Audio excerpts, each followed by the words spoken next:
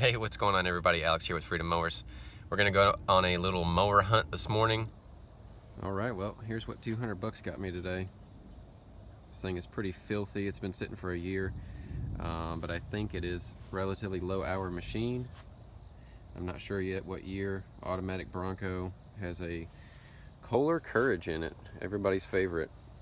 But yeah, I guess the guy did a little messing with it too. There's like a string trimmer line that's connected to the choke on here. And he unbolted the hood. And there was a bag of spare parts to come with this so have no idea what's going on with it yet. But we've got a Kohler Courage everyone's favorite. And uh, I think this will turn around to be a good machine so stay tuned